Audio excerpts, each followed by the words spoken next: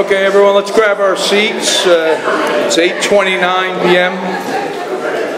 My name is Ron, I'm an alcoholic. Welcome home, everyone. A Couple quick announcements.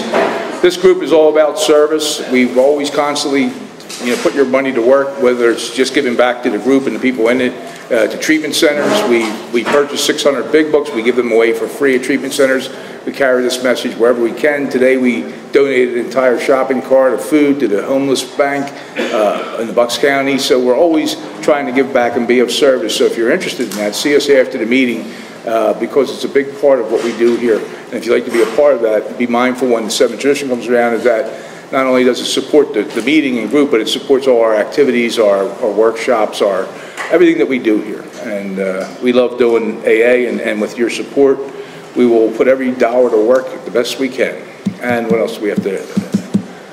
Uh, let's thank Jason. Uh, let's uh, he does our YouTube videos, so let's thank him because he's never here. He's out in Jersey. Tirelessly post these on here. We got 330,000 views, and uh, that's pretty amazing for a, group like this uh, to have that kind of outreach. And so we're very mindful of what we do here and, and that the ripple effect that it has. And uh, we welcome everybody, especially if you're new here for the first time, hang out with us after the meeting. With that, we have our first-time chairperson. Uh, she claims to be the best chairperson in Alcoholics Anonymous. Let's welcome Victoria and see what she's got.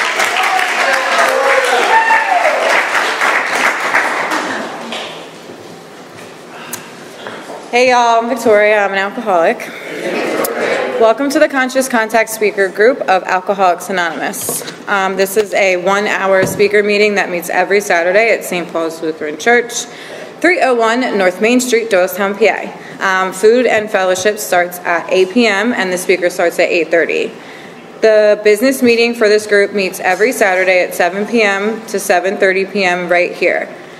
Please come early and join us. The purpose of this group is to provide a consistent message of hope and recovery through God reliance and service to others through the practice and teachings of the 12 steps. We, rec- we record all speakers so that others may benefit from their message of recovery. If you wish not to be recorded, simply ask. This is an open meeting of Alcoholics Anonymous to the group to welcome everyone, especially newcomers. Is there anyone new or from out of town that would like to introduce themselves with their first name? I'm Paul, I'm alcoholic. Hi, Paul. Welcome. Hi, Megan. Welcome. Hi, Jackie. Welcome. Hi, Jen. Welcome. Hi, Pat. Welcome. My name is George, I'm an alcoholic. Hello, George. Welcome. Hi, Alex. Welcome. My name is Chris from Alcohol. Hi, Chris. Welcome. Hi, Ted. Welcome. Hi, Joe. Welcome. Hi, Nico. Welcome. Cool. Stay, guys. Um, okay, the Conscious Contact, Contact Speaker Group encourages sponsorship. Would anyone with working knowledge of the 12 steps and is willing to sponsor, please raise your hands. Awesome. Um, are there any announcements for the good of AA? AA is good. Um, our sister group is a big book study meeting that meets every Thursday at 7:30 p.m. up the street at Salem UCC Church, 186 East Court Street, Doylestown. Coffee is on at oh Doylestown. Coffee is on at 6:15 p.m. Um, we have meeting list and big book big books on easy terms. Please see me or any home group member after the meeting. If you cannot afford a big book, the Conscious Contact Speaker Group will give you one at no charge. Anyone willing to make donations for the purchase of big books and CDs to help those who can't afford them can put donations in the jar on the table marked Big Book and CD, CD donations. All CDs are available free of charge. They're right back there. Um, please subscribe to our YouTube channel, the Conscious Contact Speaker Group of Doylestown, PA, and our Facebook group. Subscribe and share, and you can find our speakers there. Join our Facebook page to keep informed and share upcoming events and meetings. Um, and I forget his name. Oh, Nick is coming up to read the Just for Today.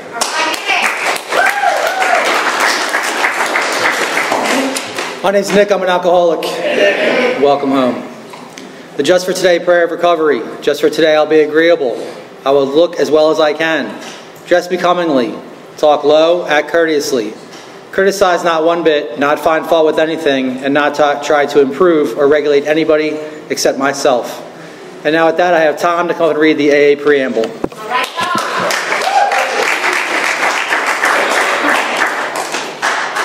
I'm Tom, and I'm an alcoholic. Uh, this is the AA Preamble. Alcoholics Anonymous is a fellowship of men and women who share their experience, strength, and hope with each other that they may solve their common problem and help others to recover from alcoholism. The only requirement for membership is the desire to stop drinking. There are no dues or fees for AA membership. We are self supporting through our own contributions.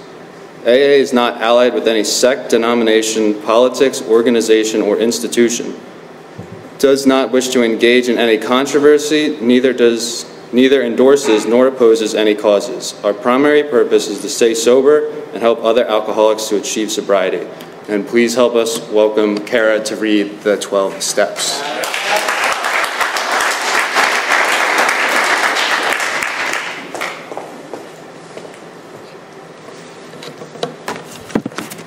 Good evening, y'all. My name is Kara. I'm a grateful recovering alcoholic.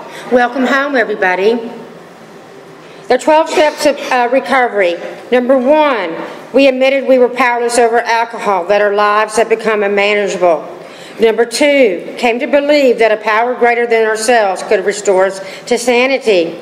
Number three, made a decision to turn our will and our lives over to the care of God as we understood Him. Number four, made a searching and fearless more inventory of ourselves. Number five, admitted to God, to ourselves, and to another human being the exact nature of our wrongs. Number six, we're entirely ready to have God remove all these defects of character. Number seven, humbly ask Him to remove our shortcomings. Number eight, made a list of all persons we had harmed and became willing to make amends to them all. Number nine, made direct amends to such people wherever possible, except when to do would injure them or others. Number 10, continued to take personal inventory when we were wrong and promptly admitted it. Number 11, sought through prayer and meditation to improve our conscious contact with God as we understood Him, praying for, uh, praying for knowledge of His will for us and the power to carry that out. And number 12, Having had a spiritual awakening as a result of these steps, we tried to carry this message to alcoholics and to practice these principles in all our affairs. Now, y'all, Victoria's going to come up and welcome our speaker.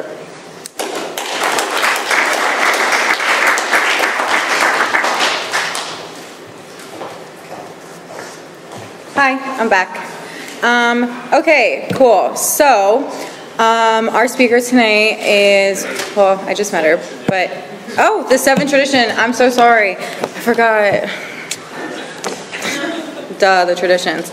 Um, so that's, we have a seven tradition here. Um, it is that every AA group ought to be fully self-supporting, declining outside contributions. At this time, I would like to pass the baskets. We have no dues or fees, but we do have expenses. The group provides many services. Your donations cover food, rent, big books, CDs, events, and workshops. Um, there is no smoking on church property. Uh, please take a moment to silence all your cell phones and limit movement during the meeting and to avoid distractions. Um, so, our speaker tonight is Alex. She's from New Jersey, um, and she's a very good friend of the Conscious Contact Speaker Group. So, let's all welcome her.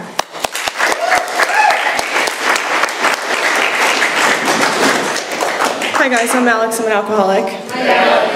Um, yeah, I live in Jersey now, which is weird to say. I'm from I'm from Philadelphia originally. Um, I have a hard time giving that up, but um, yeah, I, I'm grateful to be asked to come out here and speak. I haven't spoken at a meeting like this before, so it's a little intimidating.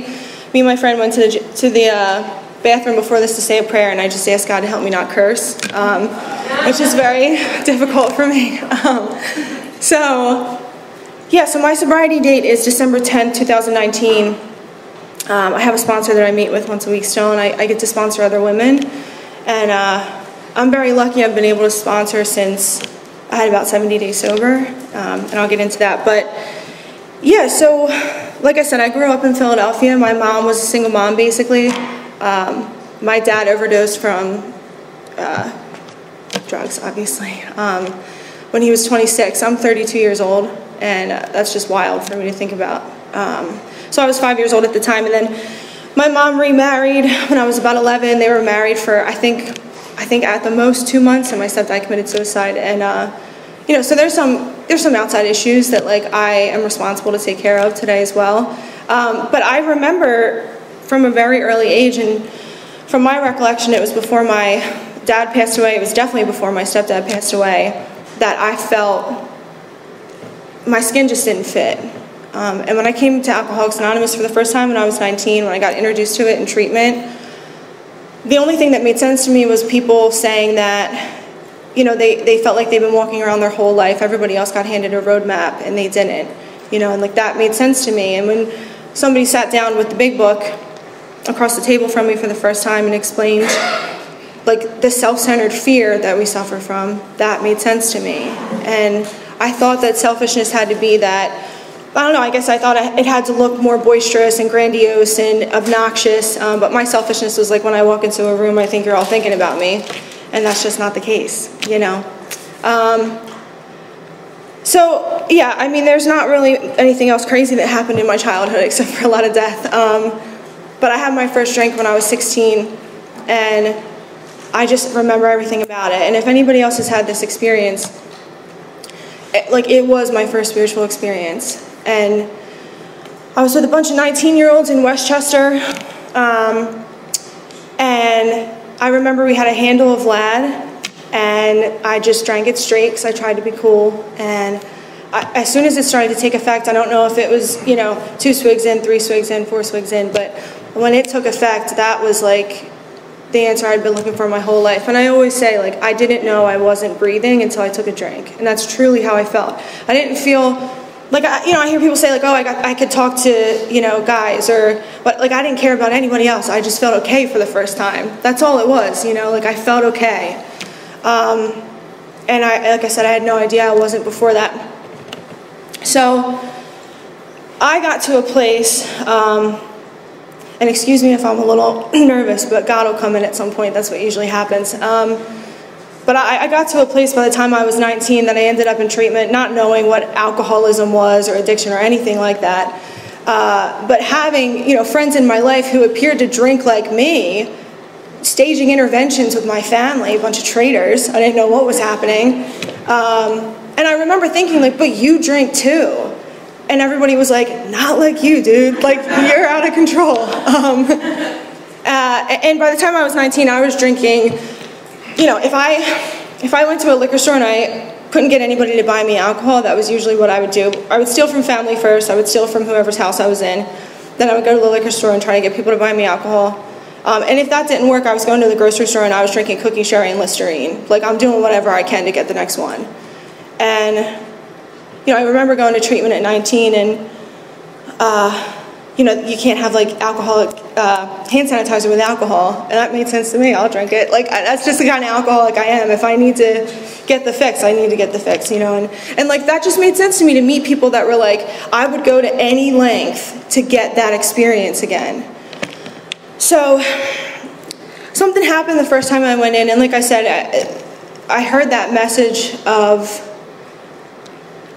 of AA. The, the only thing I remember is this guy saying that he was walking around his whole life feeling like everybody got handed a roadmap and he didn't. But at the time, you know, I'm 19 years old. I think this guy's like 50. Now looking back, he's probably like 30 something.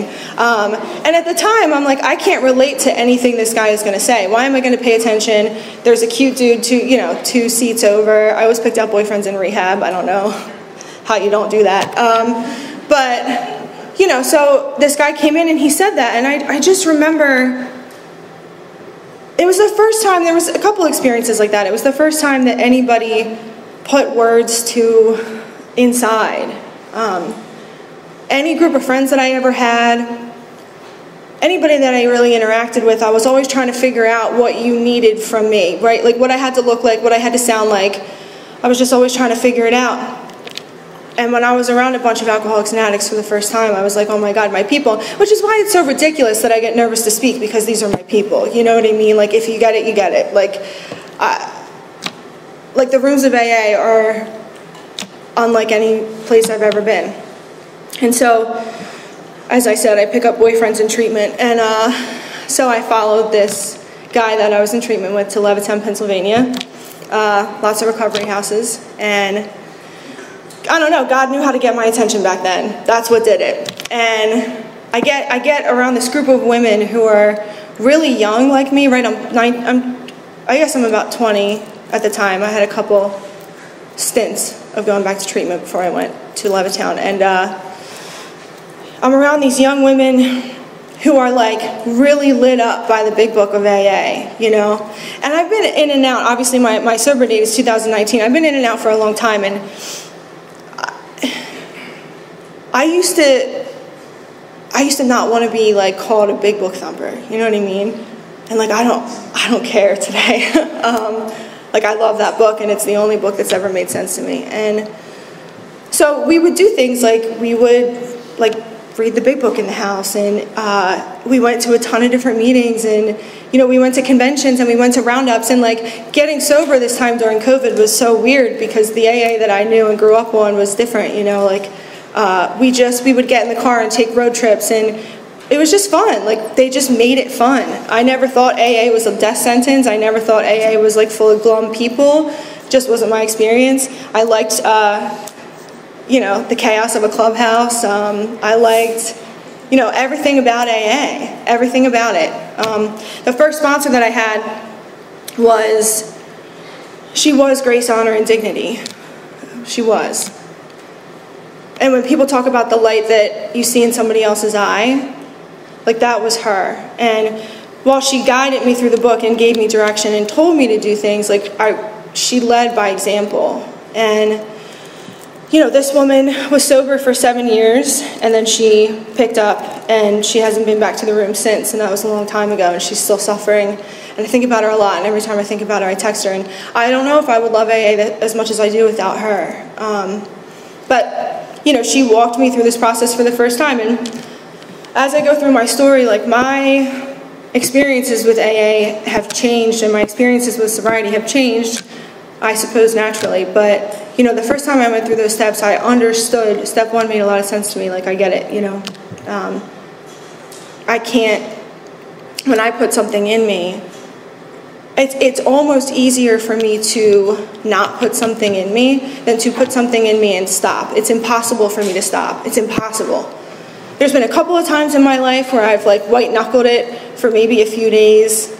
I remember one time I went on a cleanse. I didn't drink for 10 days. I was gripping the bar when I went out with my coworkers still. Like there's times like that where I can get the delusion that maybe I could control it, but for the most part, that's not the case. And um, the first big the first big experience I remember having in that house and in that sobriety, I went to 12 years of Catholic school, right? And AA has also taught me not to place judgment on any type of, you know, religion or anybody's belief. Um, it's a big, broad, roomy place, thank God. And, but you know, I had been, my what I grew up in didn't make sense to me personally, and I remember sitting in that house and everybody had gone to bed and i'm pretty sure it was the first night. And i don't know what came over me i don't know why but i just started talking to god as if he was a friend. And i felt something. And i don't always feel something when i pray but i felt something. And you know so i, I started to do work with this first sponsor and i remember when i did my my first four step. I, I don't have the experience of being scared to do a four step or it being like this big bad scary thing. That just wasn't my experience. It was like if you want to experience freedom you go through the 12 steps. They just kept it simple for me. And you know so i write the four step and i'm as thorough as i possibly can be.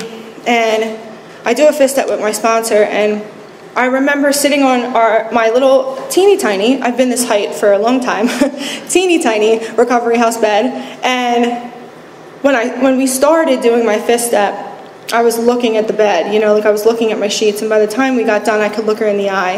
And it was just a lot. It was the first time somebody, I said the most shameful things that I had done, and, and the things that I, hated about myself and, and the ways that I hurt people.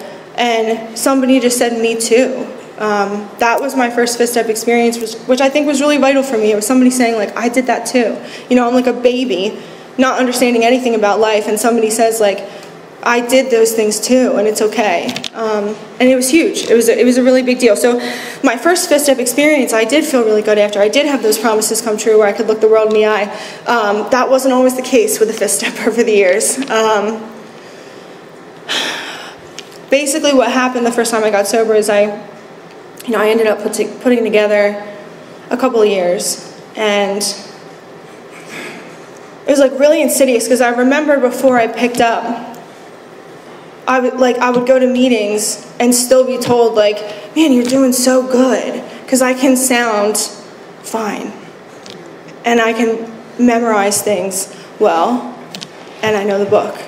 So it's really, really insidious and very. Uh, I can really fool people easily myself, you know, and um, so I, I, basically I had gone through the steps. I had a couple of sponsees at the time. I want to say maybe like one or two. I hadn't really done a, a whole lot of work with them maybe we got to, to step three. And, you know, I've picked up going to seven meetings a week, right? Like for me, I really understand having to live in the middle of the triangle, having to be in all three sides, because it can't just be one, you know? Um, and what goes for me first is prayer and meditation. It's the first thing that goes for me. I'm really good with action steps. I was having this conversation with somebody the other day. I'll go make an amends, I'll drive to the ends of the earth. I will sit down with a girl for hours. I will do inventory. Like that stuff is easier for me to do, right? But the first thing to go is to sit down and get quiet, which is from my understanding and now my experience is very important. And so I did, right? I stopped writing inventory at night. I stopped going to God. I stopped trying to enlarge my spiritual life. Eventually, I stopped going to meetings. You know, like that stuff follows, but that wasn't the first thing to go for me. And one night, you know that part in the book where it talks about suddenly? Every time I've picked up a drink, it's suddenly. Every single time. I have never seen it coming. And I got the idea that I was too young. You know, I was 22 at the time, 23, 22, 23. You know, and I was sick enough and, and far enough from God that it took one person to say to me, like, are you sure you weren't too young? And I said, yeah, you know what? You're right. I was too young. Um, and I remember that night, you know, I lived with sober people. And I remember I picked up my phone. This is how delusional I am, right? Like I picked up my phone because you have to understand, I had made true friends in AA, right? Like I had made these connections I never had in my life. So out of respect for these people in my life, I picked up my phone. I said, "Hey guys, I'm gonna go and drink. Um, I've made up my mind. Don't worry, I'm still gonna pray. I'm still gonna live by principles. I'm just gonna drink." And I really thought that that was possible. And um, so, thank God, and this is really important to me, thank God, my sponsor, my network, nobody said, nobody tried to stop me. Like, my, the response that I got was, we love you. If you come back, like, we're here, you know, but we love you. And that, that was it. And you can't tell me anything. You can't tell me anything when my mind's made up. So it would have been pointless anyway. And I said, okay, great, love you so much, thanks, bye. And I drank. And it was surreal. And like when I say I was in AA, right, like I was I was involved, like I was in AA, you know.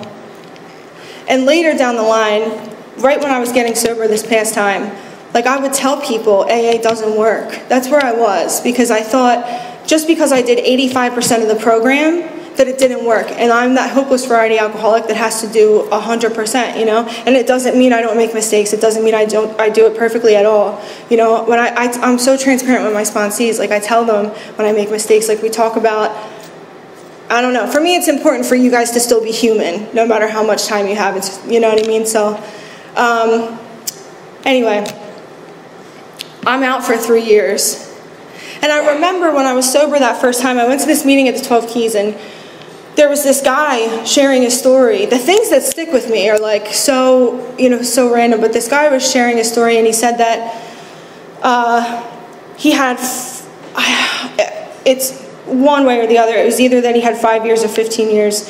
Um, but my memory was that he said he had five years, drank, and he didn't get back for 15. And I remember being like, oh my God, like that's terrifying, terrifying. And I stayed out for three, and um, I got to the place where I was um, experimenting and drinking copious, copious amounts of alcohol at work all the time. Uh, and I started ending up in psych wards and Horsham, Horsham Clinic. Um, and it felt like I was going crazy, you know, like it felt like I was literally insane. But I would have to be, you know, I would have to be 302. I started getting really violent and nasty when I was drinking. It changed. I used to have fun. I wasn't having fun anymore. Um, and for whatever reason, at the end of those three years, I, again, agreed to go to treatment. And I didn't want to be sober. I have no idea why. I can look back and see where God touched, you know, my story at these different parts. But at the time, I think that my thought process was I felt better after I went to this place last time. Maybe I'll just go again and I'll feel a little bit better and then I'll be okay. Um, and for the next roughly three years, I would do this stint of like, I'd get six months sober. Because what I would do is I would come back to Bucks County to the same people, to the same meetings, and be welcomed back with open arms. And which is great. That is AA, right? You're, we're always welcome back. But I didn't do any work to change. I didn't do any work to grow. And I didn't, I wasn't uncomfortable. I didn't have to get uncomfortable. And every time I would get a sponsor, and every time we would meet once a week, uh, and most of the times there was a guy involved that inevitably became God at some point. And I just kept relapsing and I couldn't stay sober. And you know, this is somebody, my friend told her story the other day, and I forgot about this, but when we were in treatment together, I was running big book studies in treatment. Like, that's sick. You know what I'm saying? Like, like I'm sitting here thinking, like, I know something, and that, like, I, I guess I just thought that was going to keep me sober, right? So, fast forward uh, to, to, I get dropped in New Jersey. I'm losing my insurance. I get my first charge. I called the cops on myself. It's, we have time, but it's a long story. Um, and I get dropped in New Jersey. I know people that work over there, and I got a scholarship, right? Like I got really lucky. And there's just so many times that God's picked me up and just plopped me down, like, you're supposed to be over here. Stop going off the path. And, you know, so I, I go to this treatment center, and I'm just, I, it was just a different experience. I'm used to walking into communities of 100 people, being able to distract myself right away.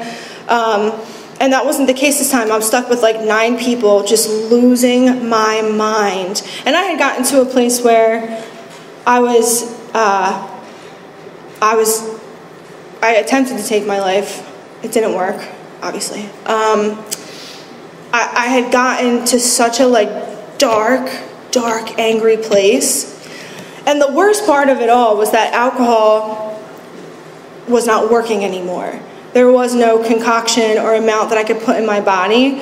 And as much as I love you fine people, you really are my people, if, if it still worked, I don't think I would be here. Um, I had to get to that place where it was like that, that jumping off point, you know? Like I couldn't live with, with and I couldn't live without it. It just wouldn't work. And those days of being able to take a couple drinks and take a big breath and everything was okay were just gone gone. And it was the first time my family really was like, you know, they called me, you know, certain names, and um, I'm just trying to keep it in the bottle, but I got to places I never thought I would get to, and yeah, it was the first time that people were like, I can't do this anymore.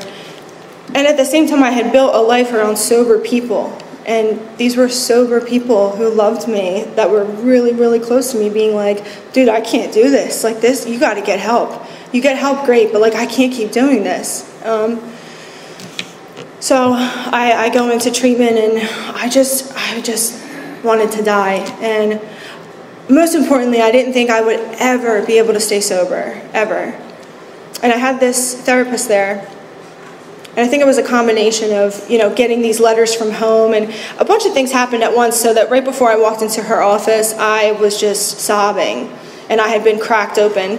And I sat down and I just remember saying to her, it's like I had to convince people. I was like, you don't understand, I'm not going to get sober. Like, I can't stay sober. I've been trying for years. I can't stay sober. Um, and I, I don't know exactly what she said to me, but I got a little bit of hope that day for the first time. And what I found was like, every time I would get to this place where I was just completely cracked open, I could start to laugh a little bit. And it was like the more that I did that and got honest, the more that I could laugh and experience joy. And it was, it was really cool. And um, as I said, I would get boyfriends in treatment and I would follow men and um, I don't know, God just started doing things. I remember in my mind, I was going back to the same recovery house in Levittown, back to the boyfriend that was waiting for me. And I swear to God, one day I was in treatment and I said, yeah, I don't think I'm going to go back. Like I remember my therapist saying, like, why don't you just try to stay here? And geographical changes are not the cure. Like, don't get me wrong, but I, I like I said, I had not had to get uncomfortable for a long time. And for whatever reason, something clicked, and I said, like, yeah, you know what, I'm not gonna stay. Like, dramatically called my boyfriend, like, I'm not coming back. It's like 40 minutes away. Literally, it was like, I'm not coming back. I'm staying in New Jersey. Um, and I and I stayed, and there were so many things that happened that like I would have not chosen before. Is the point, I guess. And so I'm in this recovery house, another sober house, and um, this woman that I had known from Philly, I'd got, you know, I'd obviously been to meetings in Philly and stuff, and this one woman was, she was just like around for some reason in Jersey. And she says that I asked her to sponsor me. I don't recall it that way. Um, I think she told me she was going to be my sponsor. And, you know, we started doing work together, and like this woman, I love this woman to death. Um, she says the most absurd, out of pocket things, and at the next sentence, there's God. It's, I would, if I wasn't trying to be respectful, I would tell you a story that she is something else. Um, and, and so what we started to do is we started to sit down and work together and like I am a defiant alcoholic through and through. And let me tell you, I was so defensive when I got sober. I had no idea. I'm sure my friends could tell you that that are here, but I had no idea that I was so closed off and so defensive and you know whatever. And what we would do is we would sit down and we would start doing work together and we'd have the book open and she would give me direction and I I don't know how many times into us meeting this was, but she gave me a direction and I said something like, well, that's not how I did it before. And she said, okay. Um, how about you learn to have a new experience? Because the thing is, is you might know how to quote this book, but you don't know crap about staying sober. She did not say it to me as calmly as that. She handed me my behind. Um, and I just remember, I, I was so resentful at my sponsor in the beginning. I was so, I caught resentments at her all the time. But I, I stuck with her, like, because I knew she had a solution. I knew she had a relationship with God. I knew that she was like me, where she kept relapsing and kept relapsing. And, you know, when I first came around to AA, I thought, oh, this is for me. This is for me. I'm going to stay sober for the rest of my life. Um, and now, where God has made me the most useful is for people who think they're doing AA and relapse, and turns out they're not doing AA. Um, and so I, you know, this woman just continues to grind my gears constantly. Um, but what I had learned through working with her was truly I was trying to stay sober off of the experiences that I had from like 19 to 23. That's what I was trying to stay sober off of. I never once tried to have a new experience. It was like, okay, we're back to the doctor's opinion. We're just going to do the same thing all over again. And not once did I have a new experience. And when we went through the steps, you know, she, we did things a little bit differently, like the same, right? We go through the book, but there were things that were different. And my step one, right, I, I would hear people at meetings say, and this might be their experience, that drinking is no longer an option, right? And for me, my step one, my understanding is drinking is always an option. If I understand the hopeless condition that I suffer from, I'm going to go through the rest of the work. Um, it is always an option. I have picked up crying. I, Like, I have not wanted to drink, and I drank and have been baffled and just blamed you guys. It was like, this place, you know what I mean? Um, and so, like, this step one experience, like, I, I was there. I, I didn't have anywhere else to go. And I love when I hear people say, like, AA is the last house on the block. This free thing, this is the last house on the block, man. You can try everything else, but don't worry, we'll still be here for you, you know? Um, and that was just my experience. And, and I get really lit up. My home group is a, oh, I didn't even say that. I'm sorry. My home group is a women's big book study in Audubon, New Jersey. Um, it's, it's, it's decently sized for a women's meeting. And it's funny because like you'll see people come in and they either get like so vulnerable and connect or it can be really intimidating. And then a lot of the times I see people come back a year later and was like, yeah, I just couldn't do this at first. Like there's a lot of women and this is really intimidating. Um, it is the best, I think it's the best home group in the whole world. And at my home group, when we get, we just go through 164. That's all we do. And when we get back into, you know, the first few chapters, especially like more about alcoholism, I'm fired up. Like, I'm ready to go. Um, because that is my experience. That is my experience. And so we do a second step, and um, my only experience with the second step had been just write down what you want God to be, which is cool, you know. And we, we essentially did that, but she like tricked me. So she had a, a sheet of all these spiritual terms that they use in We Agnostics. And then next to them, she was like, Don't think, just tell me what comes to your mind when you hear this word. And at the end, she didn't tell me what she was doing. She just asked me to like tell her what these words meant to me. And then later that night, she sent me this little like thing she made on Canva or whatever, and it said Alex is God, and it was all these characteristics, and I do it with my sponsees that way because it's like, just like this, it's just deep down in here, and if you don't think and you don't get in your own way, the stuff that comes out is really cool. Um, and, and my God's changed since then a little bit, but for the most part, not really. Um, you know, and then when I take a third step, I've never I don't think I've ever loved getting down on my knees and holding hands with another woman and saying the third step prayer. Um, but you know, we did that, and uh, you know, the way the third step was explained to me was just just make a commitment to go through the rest of the steps. If I understand what I suffer from, if I understand that I need to be open to believing in something greater than me, and that I have to turn my will and my life over to that. I st- the third step, I can get super philosophical and heady with it, but really, it's like, do you understand that you have to go through this process to have a spiritual experience sufficient enough to like not obsess over alcohol anymore. And that made sense to me. So, you know, I do a fourth and a fifth with this woman, and my fifth step took 10 hours. And I wrote down, I'm not, obviously there's fear, right? We all know like what drives us, this self-centered fear, but I'm a resentful person. Like I was, there was pages of a notebook just filled with resentments. People, you know, ha- people that were happy in relationships, Levittown, Pennsylvania, AA sponsorship, everything that I was resentful at was on that piece of paper. And there were some really interesting things that came out of that. And like I said, my, my first fifth step experience was one of of feeling like I finally belonged, you know? And I remember people talking in the rooms about the steps and feeling a little bit separated because I hadn't been through them yet. And then you do a fifth step and you're like, you feel like you, you belong more, you know? And that was my experience. This time, I got to see what I was without God.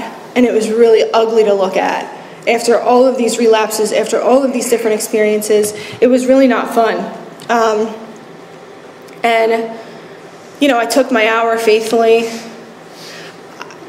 I think I did that the first time I got sober. I don't think I ever took an honest hour at the, in those sobrieties in between. It was just really important for me to take every direction as it was given to me, like not to skimp on anything. And, you know, six and seven just comes up so much now, so much. Uh, my friend Eric said the other day in a meeting that the more he grows spiritually, the more sophisticated his defects become. And I was just like, oh, that sums it up, you know? Like, I don't really cheat anymore. I don't really outwardly lie anymore, right? But, like, I can get really, really self righteous, you know what I mean? Um, like, the stuff that comes out more so now is more insidious. And, you know, so then I, then I get to my eight and nine, and every other sobriety, I had done the, the like, the five, you know? Your sponsor's like, make five, we'll keep moving. And the intention is you're supposed to keep going through your amends, and I didn't do that. When I did my A step this time, I think I had about 40 cards, and I just, I did a lot of them in that first year. Um, bless you. But I just finished my, I just did my last card like a couple months ago. Um, and never before had I done all of my amends. And like, what an experience. What an experience. Like, people talk about sponsorship. Sponsorship's great, but if I'm really honest with you, there's days where I just, I want to kill my sponsees. I love them, but there's days where it's like, it's the days I'm trying to manage them, obviously. But um, when I went through my amends process, the freedom that I felt from amends, I would drive back to Levittown, Pennsylvania. I owed amends to so many people in AA. I owed amends to meetings. Um, I would show up to meetings plastered you know, like say it's a meeting, it, it wouldn't have been a meeting like this, but say, you know, it's a meeting like this, and I would walk in and just start screaming, like I was out of my mind. I was out of my mind. Um, but I thought you guys were the problem. Like, I really did. And so I had to make amends to a couple meetings, and I was like, how do you make amends to meetings? And my sponsor was like, you show up early, you ask how you can help set up, you ask how you can be of service when you're there, and like you if you're asked to speak, which is what happened, I was asked to speak at these meetings, you tell them exactly what you did the last time you were there and how, like, you conduct yourself now, you know? Like, how did you get better? How did you find God? You just talk about what happened, you know? Um, and I'll tell you what, if I would have seen somebody like me acting the way that I did in meetings when I was wasted, standing up here or sitting, you know, at a table, I'd be like, oh, I guess this thing kind of works. Because I was just a nightmare, a nightmare. Um, so I had to make amends to a couple meetings. I, oh God, um, I, you know, there was a couple people's houses, friends in AA that I had stayed at their houses and snuck things into their home and um, did things in their home and with kids around and, you know, things like that. And there was old employers. Um, I would my, spo- my sponsor emphasized to me when it came to amends, like spiritual momentum, emphasized, like, and everybody has a different experience. My current sponsor, I, I changed sponsors about halfway through my sobriety at this point. Um, my current sponsor is of the belief that like God places these people in your life when when it's time, right? And it's not that I don't believe that, but my experience was you need to keep spiritual momentum, and so I was reaching out to one to two to you know men's cards a week and driving with sweat pouring out of my palms thinking i was going to throw up all over the place. And because i had heard things in aa like you have to have faith. You know what i mean? Like you have to replace fear with faith. And uh, my experience is not that necessarily. My experience is having the willingness to do something that scares the living crap out of me with god. Um, and like my sponsor would have me do these really corny things. My sponsees make fun of me so bad when I tell them to do things like this today. But my sponsor was like, okay, so make God real. You got to open the passenger door in your car, open the passenger door. You got to pretend like you close your fist, you're holding God's hand, do that. Like, what do you have to do to make God bigger and make God real? Um, and that stuff works for me. And so I would do that.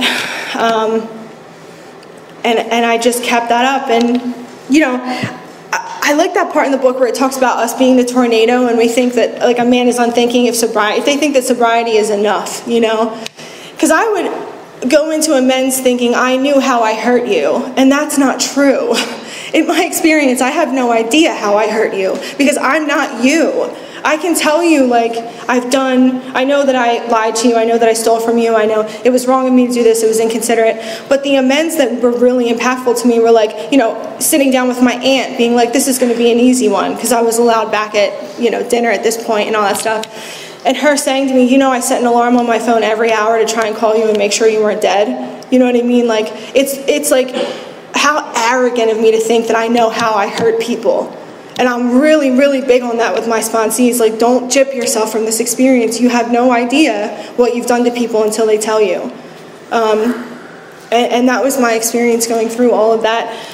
There's, oh, there's other ones. There's so many, like, uh, you know, places I stole from. And I feel like there's one that I'm really forgetting. Um, but it'll, if it'll come, it'll come. Uh, and then I got to 10, 11, and 12, right? I got to 10, 11, and 12 right in. I did this thing, my sponsor didn't even suggest this. I don't know how this came about, but I heard of this thing called an inventory train, and it hooks you up with women all around the world. The first inventory partner that I had was in like, I, I don't know, somewhere not in the United States. I don't know. Um, and it was such a cool experience. Like every day, like you go through the, you know, the nightly questions, and I got to speak to so many like amazing women. And I always suggest my sponsees do it for at least a couple of months. And it was great. And, uh, you know, my 11 step experience was like, I guess it was more so my second step too. It was like, just say yes to everything. Um, if somebody asks you to go to a Buddhist temple with them, say yes. If somebody asks you to go to a non denominational church, say yes, you know? And I was at the point where, like, I'm telling you, my butt was on fire, on fire. I was dying, dying. And when I talk about my first sponsor, she gets a lot of, she gets the crap end of the stick when I talk about her. But in reality, this woman knew me because she was me, and she knew I was going to die. Like, I would call her, and there was times that I would balk, and she would say to me, like, I guess you don't understand what you suffer from. You really must not understand what you suffer from. Um, and she always got me to, like, keep moving my feet. And that's what my entire sobriety is based off of, right? Like moving my feet, no matter how I feel. My entire life was dictated on doing things based on how I felt. And I cannot live like that anymore. I didn't necessarily feel like driving an hour and 20 minutes to come out here today, but I'm very glad that I did, right? Like, you just don't say no, you know, um, in my experience. So, so I have these like really cool experiences when it comes to 11, right? And I'm trying to say yes to everything. And I remember, like I said, I started sponsoring like 70 Days Sober, and I, I remember uh, going to my grand sponsor's house at the time. I, like I said, my, my friends and family in early sobriety weren't really talking to me. Uh, two of my best friends are here tonight. It took a long time to gain back their trust. Um, and, and so my grand sponsor invited me to an hour long, I didn't know this at the time, she just invited me to her apartment with a bunch of other people to meditate. That's all I knew. And my sponsor was like, what else you got going on on a Friday night, dude? Like, go. Um, so I did. And I remember, I, it still cracks me up to this day. Um, the person with the least amount of time, I must have had 60 something days. And I'm sitting in a circle with maybe six other people. I don't know them from Adam, except for my sponsor and her partner. And they put on an hour long Native American meditation chant thing, hour long hour long, 60 something days sober. And I remember I, I would venture it was five to 10 minutes in that I started thinking about a Newport. It could have been longer. Um, but I was sitting there like I am squirming, crawling out of my skin. And I remember at the end of this, these people, I still don't know if I think they were lying still. I still struggle with that. But these people, you know, sat up from this meditation and they were like, oh my God, I saw my, my grandmother that's passed away and I saw a, a field with a rainbow. And, and I literally was like, I have a question. Um, I thought about a Newport the whole time. Am I going to be okay? Like, am I going to stay sober? Um, and my grade sponsor, I remember she looked at me like so knowingly, you know, like, oh, honey, you know. And her partner, her partner was like, May I place my hands on your head? And I said, In my head, I said, I'm done with AA, all right? Like, I'm done. And so he did. I said, Sure, right? I'm telling you. And I, I say yes to whatever I'm told to say. I said yes. And he placed his hands on my head, and I started hysterically sobbing. And I had, there was no thoughts going on in my head. And anytime that I've had a spiritual experience, I am not able to put words to it, which I like, which to me like reminds me that it's like bigger than me because I can't understand it, you know? And I would have these experiences in sobriety a lot. I remember being, I don't know, I might have been four months in because I'm telling you, I was used to getting to six months and then picking up, you know, like I really thought I couldn't stay sober. And I was probably about four months in and I was in the bathroom in the sober living house crying on the phone with my sponsor. I remember people saying to me too, like, you know, everything's the end of the world with you. And I was like, but isn't it? Like, that's how it felt in early sobriety. That's how it felt. Like, my early sobriety was painful. It was painful. There was no pink cloud. And I think if it wasn't that painful, I wouldn't have done the work that I did to lay the foundation that I have today. And so I called my sponsor and I just remember saying, like, I'm, I'm, I'm not going to stay sober. Like, I'm so afraid I'm going to pick up again. And that fear can come up a lot today, to be honest with you. I've had so many experiences with relapse in the past 12 years, right? I've never had this amount of time sober, but I've never done the, type of work that I've done this time. And um, but it can creep up and it can be debilitating, right? Like I have like a healthy fear sometimes, and then other times I have a debilitating fear where I keep God out completely, and it's it's no use to anybody, you know. Um, but anyway, uh, I forget exactly where I was going with that, but with an 11 step experience, my, my first sponsor said to me, what's going to happen is, is you are going to stay sober. Your life is going to get very full. And if you do not maintain a relationship with God and enlarge your spiritual life, you cannot keep up with it. Um, and that is what has happened, for sure. Um, and, and the way she explained it to me was so beautiful. It was like, because I, I would look at her sponsor a bunch of people. You know, uh, she was pregnant when we were doing my fifth step, and you know, so she gives birth and she's running around like a nut, you know, and she's doing all these things, and she's like happy and, and joyous and free, and I'm like, how? Like, how are you doing all these things, and how are you not like a homicidal maniac like I would be? And she was like, because I have a relationship with God, you know, and that part in the 11th step when it says when I stop trying to, to arrange life to suit me. I somehow magically have the energy to like go about the life that God has planned for me. Um, and that has also been my experience, you know, like I really look up to those people in the rooms who just are able to wear the day like a loose garment. I, that is so attractive to me. How do you just let stuff roll off your back? I don't know what that's like at this point. Maybe that'll come. I don't know. Um, but I think it's amazing when people can just go like, oh, well, I did have this plan and it fell through and that's okay. God has another plan for the day. and I'm like, wow, that's amazing. I'm just going to keep asking God to help me with that. Um, and, uh, you know, I was also told, I, I, like Sandy B a lot, if anybody's heard Sandy B speaker tapes. I like Sandy B a lot, and I like the way that he talks about God and, and, and like perception. And, um, you know, I, the one speaker tape that I have listened to a couple of times, and he talks about like picking up spiritual books. Like, you need to like be reading too. And, and the trap that I can fall into with 11, though, is that I think God is out here only, and God is in here, right? And I remember sharing at a meeting one of my best friends overdosed and died two years into my sobriety, and that like rocked me, rocked me. Um, but it was also the first time that I got to grieve and also show up. That's never happened before. I just shut down, everything becomes about me, I isolate, and I can't show up for you. And it was the first time in my life, like I said, I've had a lot of death, and it was the first time in my life that I could. We went to his funeral and, and then left to drive up to Massachusetts for an AA wedding that night. And like intermittently that weekend, I was hysterically sobbing and then celebrating other people. And that was okay. Like both of those could happen. Um, so that was my experience with step 11 is very much like I have to continue to seek. And, and doing all of the stuff outside, right? Like reading all of the different books, like um, and I know that New Pair of Glasses is literally speaker tape turned into a book, but it is my favorite book in the entire world. I love that book. Um, and over the years, people have given me some awesome recommendations, and I've read some beautiful things. I just finished like a purpose-driven life, and I try to always be reading something spiritual as well.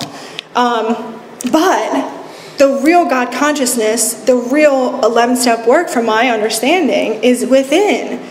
And after my friend had died, I would go to meetings and say, like, uh, I just stopped, like, like I'm praying, but I'm praying in a perfunctory way. Like I'm not talking to God the way that I talk to God for the first two years of my sobriety. And um, and I said, I'm, I'm trying, I'm, I'm going to different services again. I'm trying to do all these different things. And this older gentleman shared, and he said, you know, uh, like it's built, it's built in. You know what I mean? At the factory, it's built in.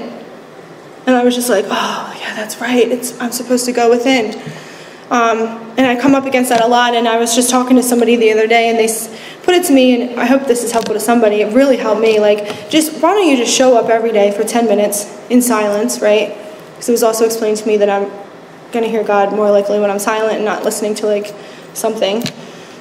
So why don't you show up in silence and just sit down and pretend like you're sitting at God's feet and you're like, if today's the day you want to give me, you want to tell me something, great. If not, that's okay too. I'm just going to keep showing up every day. Um, and I know at some point you're going to tell me something. And I was like, oh my God, so simple. Why do I complicate these things?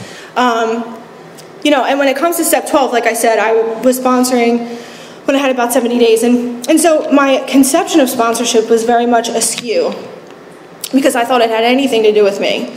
The only thing it has to do with me is that it keeps me sober. Um, and my, my sponsor at the time, if, if, if not, you know, some things I was always honest with her. I was always, always rigorously honest. And so I would go to meetings and they would say, is anybody available to sponsor? And she would tell me to start raising my hand and I wouldn't raise my hand and I would go and tell her that. And that was one of the times where she said to me, I guess you don't understand what you suffer from because you are so self-centered. Like you have to get in service to other people. You, you're gonna die, that you're gonna die from this disease. And so I went to a meeting, it was like a Chris Brennan meeting or something, and they were talking about how Ebby Thatcher had 60 days sober when he 12 step bill, essentially. And I was like, oh my God, that's it, you know? Like, that's it. I'm, I'm putting this whole emphasis on something that it doesn't need to be. And I talked to my grand sponsor at the time, and she was like, dude, it's, it's your experience and it's a book. And I only say that because I know a lot of people who get scared with like sponsorship, and it's not anything but your experience. If I'm trying to impress you as a sponsor, I'm doing something wrong. I just have to sit here and be honest with you. And the, the minute that I raised my hand, I, I haven't not had sponsees since, and I've been so lucky and so blessed. And, um, you know, it's been a, there's plenty of, of stories and situations when it comes to sponsorship. Uh, like I said, I, I appreciate when people say like, oh my God, I want to kill them, you know, um, because that has absolutely been my experience. And then there's been times where I'm crying because I'm so grateful for them. And, you know, I got to watch one sponsee get married and, um, like, it's just cool the things that I get to, to see. And it really is true that whole idea of like they help me more than I help them. And there's been plenty of times when I'm in my own stuff and I'm, woe is me and but because of the foundation that was laid for me, I know that just because I don't feel good doesn't mean I get to cancel step work in an hour, right? Like that's not a thing in my in my sobriety. And what happens every time is I'm jammed up, I'm in a spot, a sponsee comes over, and what do you know? Everything's okay. And whatever I'm going through is really not that big, you know? Um, I don't know. I, uh, like I said, I, I appreciate you guys asking me to come speak. I'm very subdued compared to what I normally am because I'm trying to be very respectful. Um, I don't want to say anything inappropriate or, or anything like that, but I, I, but I hope something that I said was helpful. The, the main thing that I always try to get across is that it doesn't matter how bad I want to be sober. Um, all that matters is the action that I put in. And to stay honest, I never want to get up at any podium or raise my hand in any AA room and, and you know, bullcrap, you guys. I hate curbing this. I, I never want to do that, you know? Because of all the people in the world, I should be able to get up here and say, like, I should be able to tell you guys, man, I've been so intolerant lately, right? Like, man, like this defect has been coming up. This is what's going on. You know what kept me really sick is when I had a year sober and I thought I had to stop having defects and be perfect. That kept me really, really sick, dude. Really sick in other sobrieties. Um, and it's really important that I tell you like who I am and be really honest. And the first person I'm going to lie to is me, obviously. Um, but that's really important, you know. And I appreciate when people say things like Ron was saying before, like just have fun. You know, I'm in this like situation right now. It's lit. I'm just dating. That's the situation. it's literally nothing serious. and um, and I'm like talking to my sponsor, just you know, so in my head, and she's like, "What if you just hear me out? What if you just had fun and like trusted God?" I'm like, "That is wild. what a wild thing to recommend." Um, you know, but but this idea, and Ron said that too before I got up here. You know, he was like, "Just have fun." And, and I make this so serious, right? Because I want to be, I want to be a good speaker and you know, like all these things. And, and the, the, truth of the matter is, like, I'm a drunk, dude. I shouldn't be sober. I shouldn't be sober. Um, that whole idea of, like, well, I deserve, right? And I'm not saying don't have standards for yourself, but if I got what I deserved, I would be dead. That has always been my experience. Like, I don't, realistically, I don't deserve to be here. Um, and I'm really lucky that I get to be here. So um, I think that's all I got. And thank you for letting me share.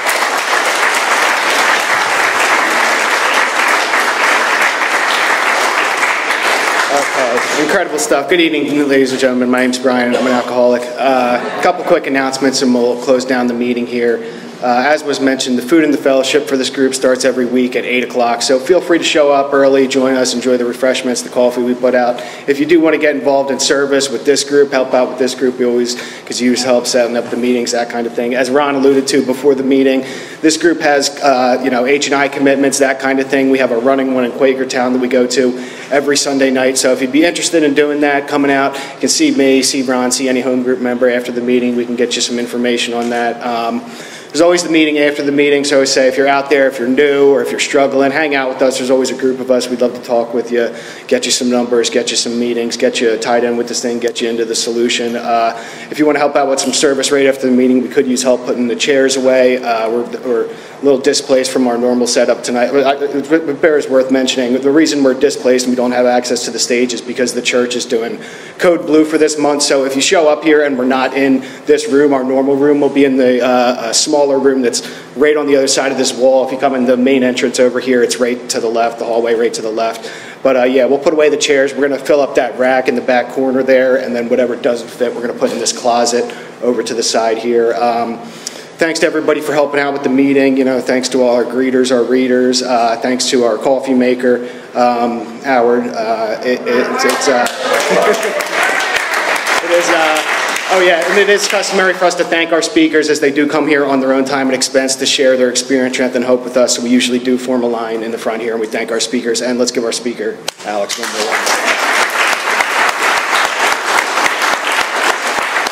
And if you do care to join us, we have a beautiful way of closing. I guess we're going to circle up. We're going to circle up. We got a lot of people here. I think we might do it.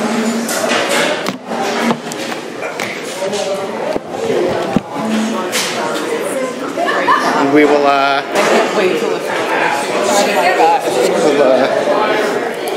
and we'll uh, close down the meeting, as always, with a brief moment of silence for the still sick and suffering alcoholic inside and outside of these rooms, followed by our Lord's Prayer.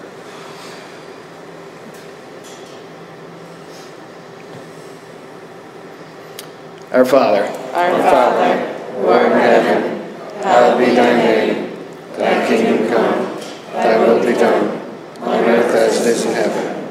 Give us this day our daily bread, and forgive us our trespasses, as we forgive those who trespass against us. And lead us not into temptation, but deliver us from evil. Thine is the kingdom, the power, and the glory, forever and ever. Amen. Keep coming back at works if you are. We got it working. We got it working.